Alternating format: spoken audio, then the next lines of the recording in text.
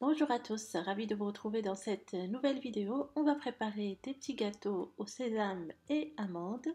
C'est une confiserie orientale au miel parfumée à l'eau de fleurs d'oranger.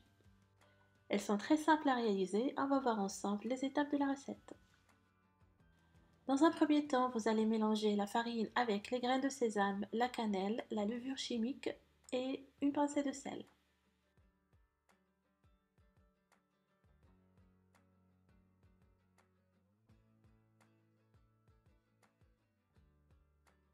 Ajoutez l'huile et le beurre.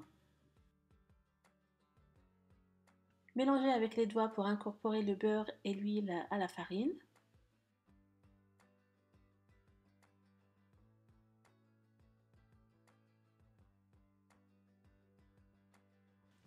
L'eau de fleur d'oranger et l'eau pour euh, ramasser la pâte.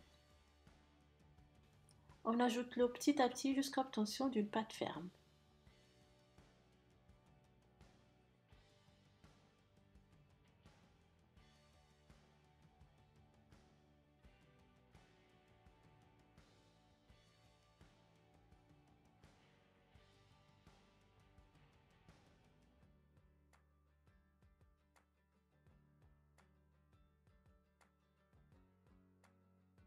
On va diviser cette pâte en 3 ou 4 boules.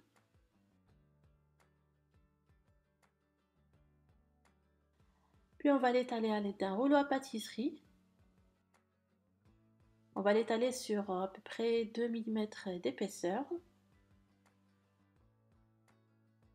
Puis vous découpez soit des carrés de 6 cm ou des cercles.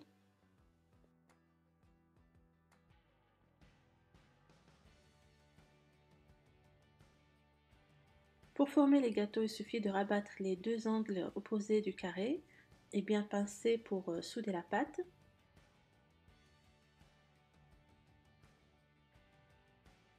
Pour les cercles, on va faire pareil en essayant de pincer finement vers le centre pour éviter qu'ils s'ouvrent en cuisson.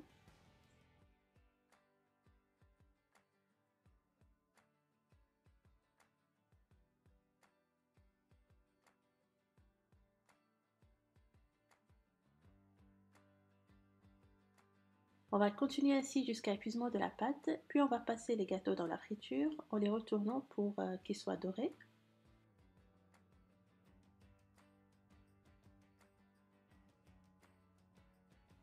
Égouttez-les et plongez-les aussitôt dans le sirop de miel.